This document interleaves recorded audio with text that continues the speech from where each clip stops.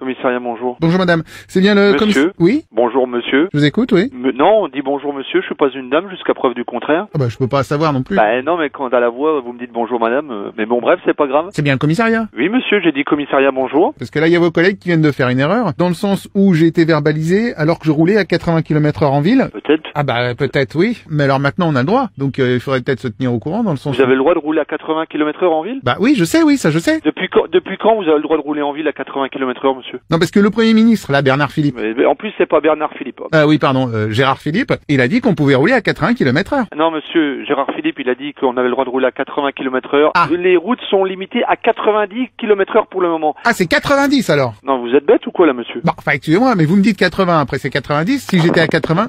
Allô? Oui, Ah, une autre dame mais non, mais je crois que vous avez un problème là. Dans toute agglomération, c'est 50 km heure. Sauf Sauf zone 30. Ah bah c'est bien ce que je disais, 50 plus 30. Non, non, 50 et sauf